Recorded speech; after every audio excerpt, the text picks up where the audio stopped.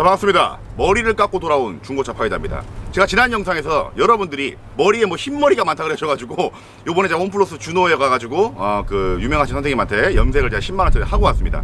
뭐 어찌됐건 그게 중요한 건 아니고 오늘은 중고차 파괴자의 고질병 시리즈 중에서 이 아우디 편을 제가 준비를 했습니다. 자 우선은 내가 아우디를 사겠다 마음을 먹었으면 당연히 본네트를 열어봐야겠죠. 근데 이 아우디 A6는 기본적으로 누유랑 누수가 정말 굉장히 많습니다. A6뿐만 아니라 A4도 많고 A7도 많고 제가 알기로는 Q5도 다 똑같아요. 우리 같은 일반인들은 사실 이렇게 본네트만 열어서 뭐 이런 데 이렇게 막 보겠죠.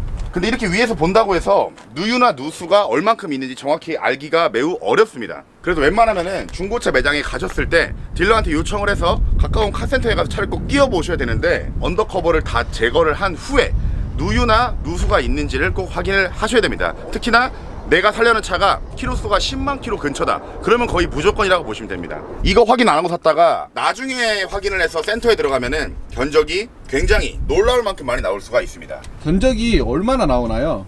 물론 뭐 case by case겠지만 대충 적게는 어, 국밥 100그릇에서 많게는 한 국밥 300그릇까지도 충분히 나올 수 있죠. 자 다음 두 번째는 제가 아우디를 실제로 탔을 때 가장 정말 정말 마음에 안 들었던 부분인데 이 아우디는 기본적으로 여기저기에 잡소리가 정말 많아요. 여러분들이 뭘 생각하시던 그 이상으로 잡소리가 많이 납니다. 그 중에서 제가 직접 경험했던 대표적인 잡소리 세 한번 말씀을 드려볼 건데. 자 첫 번째는 바로 이 버튼입니다. 이 버튼이 뭐냐? 사이드 브레이크예요. 우리가 이렇게 운전을 하고 막 이렇게 운전을 했어요. 운전을 좀 하고 정지를 하고 이거를 위로 올린단 말이죠. 사이드 브레이크 채워야 되니까 정지할 때 딱 올리면 지금 이 차 같은 경우에는 그나마 상태가 양호해요. 지금 이 차는 키로수가 9만 킬로입니다 그나마 양호한데 10만이 넘어갈 때쯤 되면 어떤 차는 7, 8만에서도 그러긴 하는데 10만이 보통 넘어갈 때쯤 되면 이 브레이크 딱 채울 때 하체에서 끽 이런 소리가 나요. 진짜 얄미워. 막말로 이제 여자를 태웠어. 딱 주차를 했어. 딱 채우는데 끽 이래봐. 난리 나죠. 약간 약간 경운기 느낌 난단 말이야. 이런 부분들이 저는 굉장히 신경이 많이 쓰였고 그 다음 두 번째는 썬루프예요. 지금 썬루프 열어놨는데 열을 땐 상관이 없습니다. 닫을 때.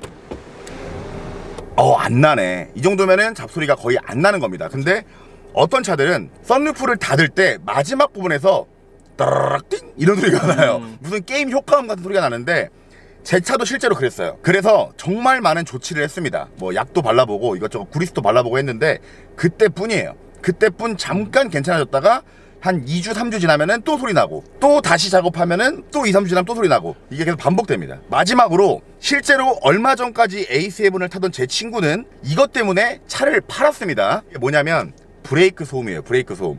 이거 아우디 타시는 분들은 아마 대부분 아실 건데 브레이크를 밟을 때 브레이크 어딘지는 모르겠어. 어딘지는 모르겠는데 브레이크에서 붕, 붕 이런 소리가 나요. 브레이크를 밟을 때. 브레이크 밟을 때 특히 아침에 항상 브레이크 소음이 나는 거야.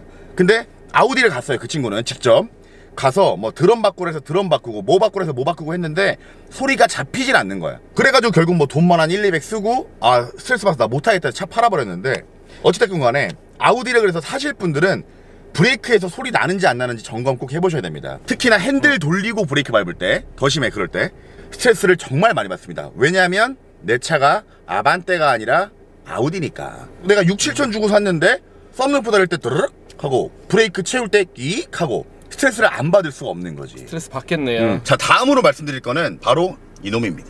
어, 이 아우디 A6는 시동을 걸면 이렇게 어, 이 내비게이션이 이렇게 올라와요. 올라오는데 이놈이 잘 안 올라오거나 잘 안 내려가거나 둘 중 하나의 문제가 생깁니다. 하다 보면. 근데 제 차도 가끔씩 이게 잘 안 내려갈 때가 있었어요.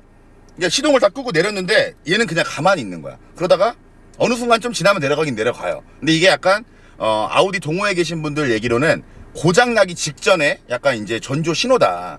사람도 이제 기침을 해야지 감기를 걸리지 않습니까?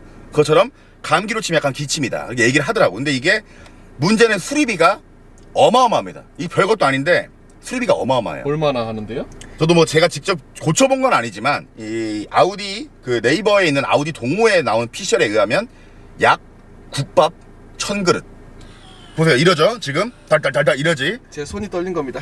어쨌건 여러분들이 중고차 사러 가시면은 이 버튼을 꼭 여러 번 눌러서 올라가고 내려가고 잘 되는가 그 다음에 이 아래쪽 여기 찍어주세요 이 아래쪽에 이런 이런 것을 눌러서 작동이 다 되는가 꼭 확인을 잘 하셔야 됩니다. 자 그리고 이 아우디를 사실 분들이 가장 정말 정말 가장 유의해서 보셔야 될 부분인데 아우디는 미션이 유리 미션으로 굉장히 유명합니다. 아우디는 미션이 좋아요. 좋은 건 다들 알죠. 뭐 아우디 미션 안 좋다 이렇게 말할 수는 없겠지만 미션이 내구성이 안 좋은 거예요. 축구 선수로 치면은 뭐 하그리브스라든가 뭐 로벤 이런 선수를 보면 잘하잖아. 정말 잘하는 거 아는데 몸이 유리 몸이다 보니까 몸값이 안 비싸죠. 그냥 똑같은 거죠. 미션이 너무너무 좋고 연비도 좋고 다 좋은 거 아는데 고장이 너무 잘 나는 거야. 그리고 실제로 저도 아우디를 사고 얼마 되지 않아서 TCU가 고장이 났어요. TCU. 이 TCU가 고장이 나가지고 저는 이제 쫄아가지고 아우디를 갔지. 갔는데 수리비가 무려 500. 왜 이렇게 비싼 건가요? 나도 그건 몰라요. 왜 이렇게 비싸냐고 하니까 할인 안 되냐고 막 쫄랐는데 그런 게 안 된대요.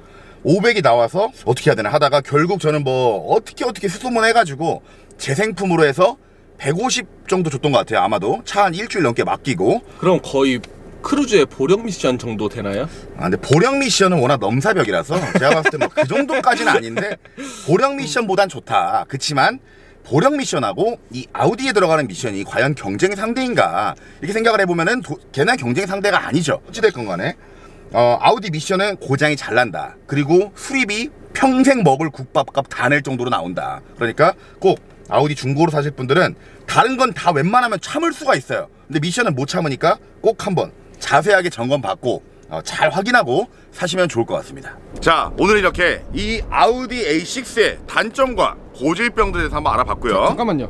끝인가요? 네, 마무리하려고.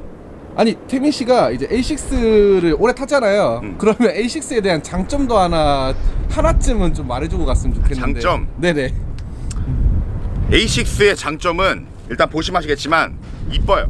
생김새가 너무 이뻐요. 생김새가 이쁘고 2천만 원대 수입 독일제 4륜구동을 타볼 수 있다는 거 음, 이런 게 좀 장점인 것 같습니다. 그러니까 독일 3사 중에서 가성비로만 따지면 아우디가 나쁘지 않아요. 근데 솔직히 장부장이 좀 많아. 여기저기 자소리도 많고 그거는 좀 아셔야 됩니다. 자 어쨌건 오늘 영상은 여기까지 하고요. 저는 다음 영상에서 더욱 재밌고 유익한 내용으로 돌아오겠습니다. 감사합니다. 중고차 파괴자였습니다. 수고하셨습니다.